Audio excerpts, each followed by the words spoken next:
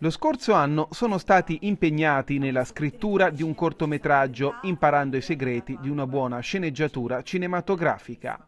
Quest'anno proprio il corto ritenuto più interessante diventerà realtà impegnandoli nella produzione. Prenderanno il via a fine mese le lezioni del nuovo stage organizzato dalla Fondazione Banca del Monte di Lucca nell'ambito del progetto Lucca Effetto Cinema.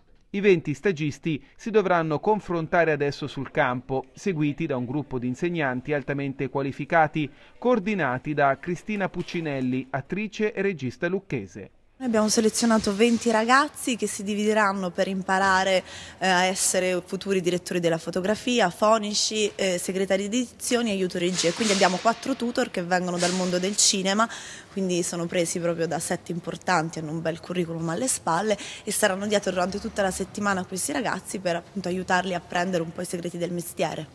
Domani e lunedì all'auditorium della Fondazione Banca del Monte di Lucca in piazza San Martino si terranno i casting per scegliere gli attori che reciteranno nel cortometraggio.